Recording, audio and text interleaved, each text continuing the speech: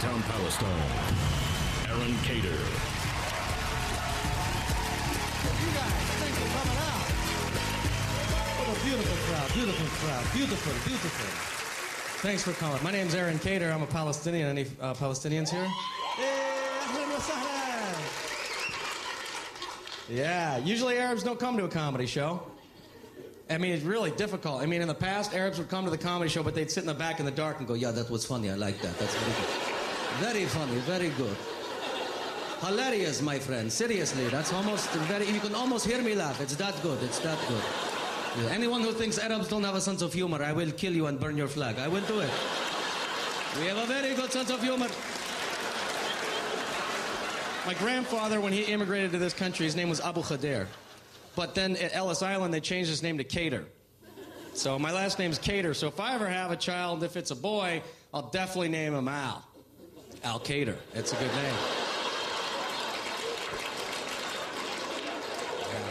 If I have a girl, I'll name her Darth. Darth Kader. That's a sweet name. Yeah. My dad, uh, my dad comes from a Palestinian family, and my mom comes from a Mormon family from Utah. Yeah. Any any Palestinian Mormons here? Mor- Mormons are another group that never comes to see comedy. They just feel guilty immediately if they laugh. You know, They're like, What am I doing?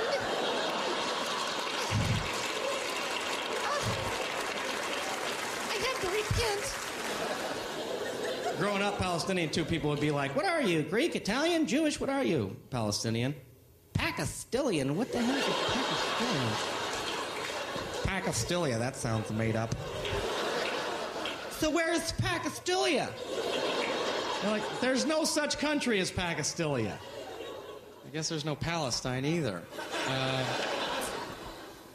you ever heard of Israel? Oh, so you're Jewish. How many rocks do we have to throw? Goddamn! I mean, come on.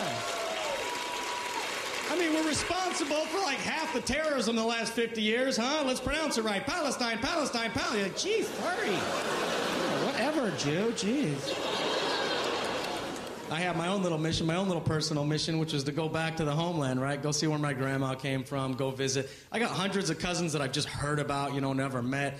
So, you know, over the years, I've been there a few times. I went, I went over there after 9 11, and, and I was visiting a cousin in Amman, Jordan, right? And I'm driving around with my cousin who's like, all bitching and moaning about America, right? You son of a bitch, America. America, think you're so strong, so powerful, so big and strong. Arabs love to cuss in English. They cuss their heads off in English. They won't do it in Arabic because then God could hear them, you know? But in English, no problem. God doesn't speak English.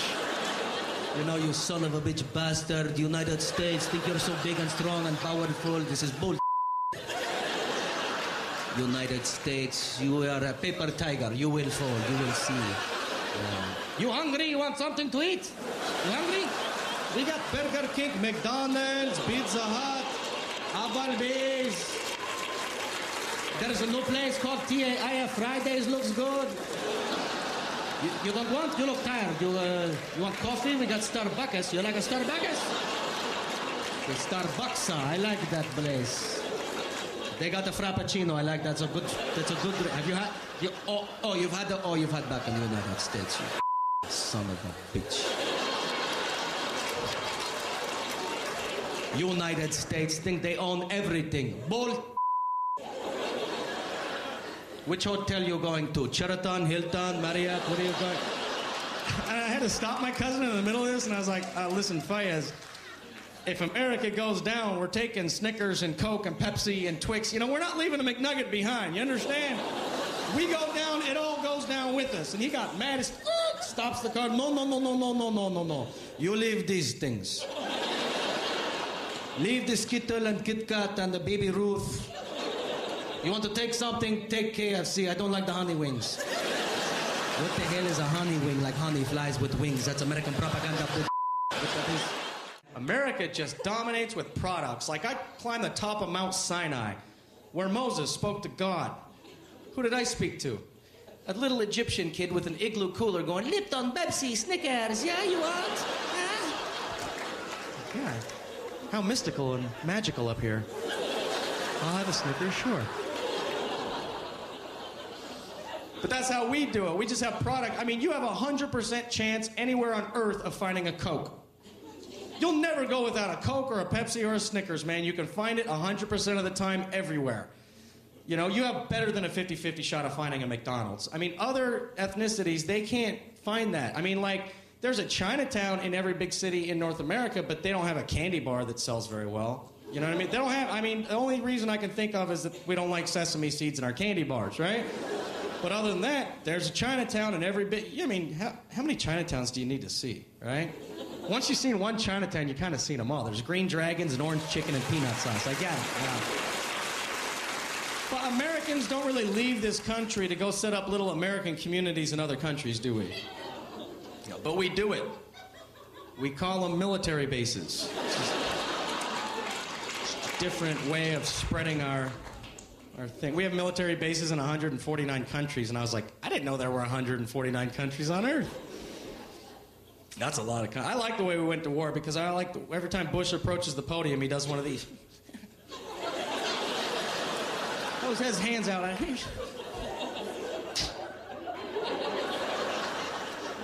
don't know why, but he always gets that look in his face before he talks like.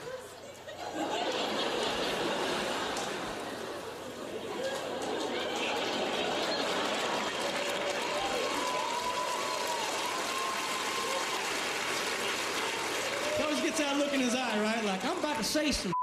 Right? I'm serious. This is Bush's serious face. I'm serious. Like, why are you smiling? Because I'm serious.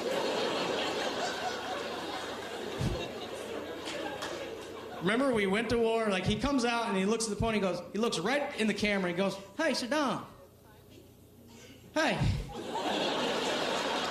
I'm like, what is Saddam in Baghdad watching CNN? Like, oh my God, is he talking to me? Holy crap, man. Go order some pizza. Let's TiVo this. Look. The president is threatening me. Hey, Saddam, we're sick and tired of your games. Understand? Sick and tired. He gets so sick and tired. He is, you can always sense it when he's in a press conference because when he gets questions, he always does this.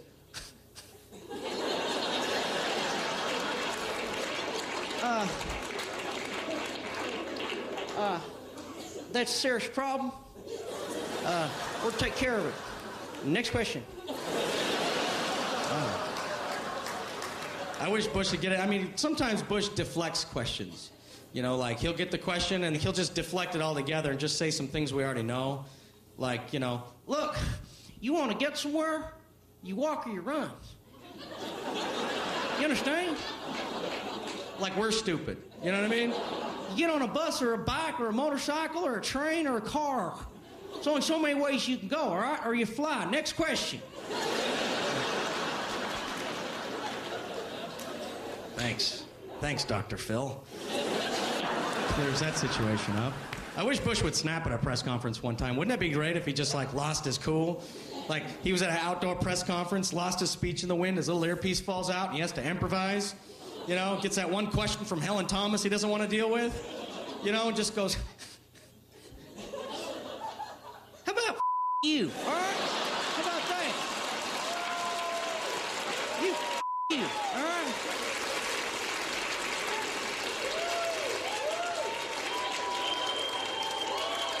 They're brown sand people. Okay? They should get all that sand together and make themselves some body scrub. Exfoliate themselves. They're all mother. Trust me. Next question. if Bush just came out and called everybody in the Middle East a mother, don't you think half of America, maybe more than half, would go, I like that right there. That's honest. I appreciate it. You guys, thanks for coming out tonight. Thank you.